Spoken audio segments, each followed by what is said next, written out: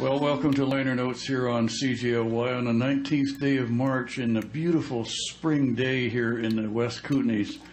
I'm here at the station today with uh, two of my grandchildren, uh, John Henderson, who's age 17, and Matthew Henderson, who's age 14. They're here on spring break helping me build a, a sun deck on my treehouse up in Kaslo where we live and they're going to be helping out, uh, introducing a few songs here this afternoon.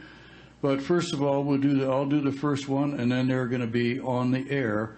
This is uh, David Bromberg, who is a multi-instrumentalist, singer, and songwriter, an eclectic artist. Bromberg plays bluegrass, blues, folk, jazz, country, and western, and rock and roll. He is known for his quirky, humorous lyrics and the ability to play rhythm and lead guitar at the same time. I don't know how he does that, but that's what they tell me on liner notes. Here's an old Delmore Brothers song called The Browns Ferry Blues. This is David Bromberg.